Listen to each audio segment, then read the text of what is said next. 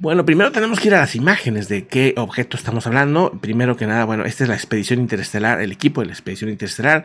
Así es como se ven los científicos, pues analizando esto, ¿no? Andan en una especie de buque, laboratorio, y ahí bajo el océano van descubriendo ciertas, eh, ciertas eh, burbujas, por llamarlo así, ¿no? Ahorita vemos las imágenes como son, ciertos objetos que se sabe son del espacio, más allá de la galaxia, y que aseguran pudieran tener relación a algún objeto extraño o a lo que fue tal vez alguna especie de nave o de meteoro, ¿verdad? Que eso también pues hay diferentes puntos de vista, porque el científico de Harvard asegura que estas aleaciones eh, no se dan en la naturaleza, ¿no? Que pudieran ser artificiales, que eso es lo interesante.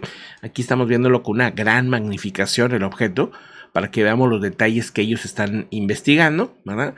Dice el profesor de Harvard sobre la primera llegada del objeto interestelar a la Tierra que ahora mismo está a punto de hacer el, comunicado de qué ha descubierto en esta expedición en el océano.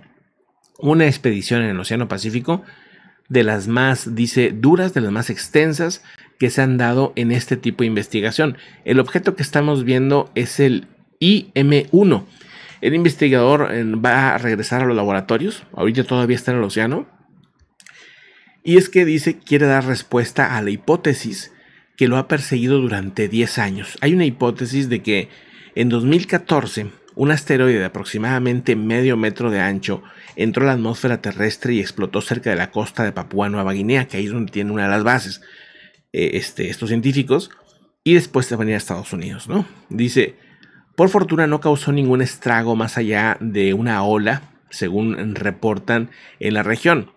Calculó mal la velocidad de la roca por arriba de lo normal, dice, y es el primer proyectil interestelar en llegar a nuestro planeta. En toda la historia de la astronomía no se había detectado algo así.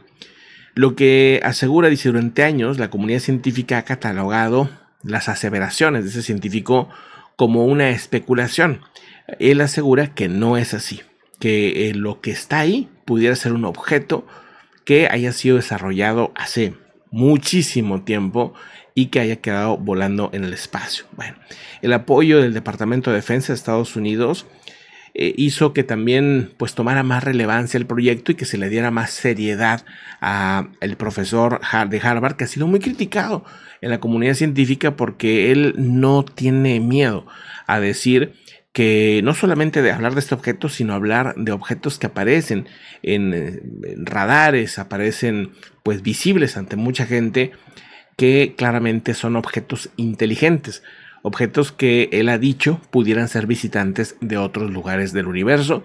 Y no, o sea, vamos, no se ha limitado a ese tipo de comentarios varias ocasiones.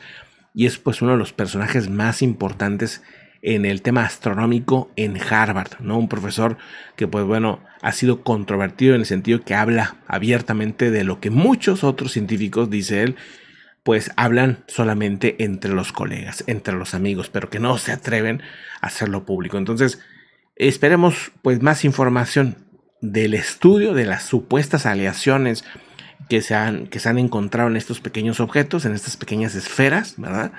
Y si hay algo que reportar interesante, aquí obviamente lo estaremos eh, comentando con todos ustedes, pero estamos dándole actualizaciones constantemente de este tema. Vamos a otro tema, a otro asunto también interesante.